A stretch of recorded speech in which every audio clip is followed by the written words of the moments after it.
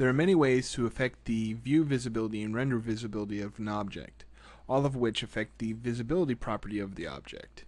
To access the visibility property, open up the property tree of the object and go down to the visibility property.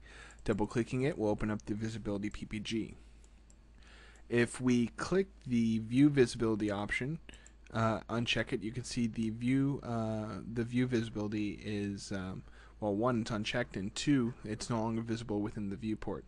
Um, there are a few uh, visual cues that are available to know that an object is uh, uh, that one of the view visibility properties um, are hidden on a particular object. One is you get this little gray H here, um, which lets you know that either one of these is unchecked. Also, if you open up the synoptic view by hitting H, you can notice that all hidden objects will be hauled out. So if I went ahead and recheck this, you can see now the torus is now visible here.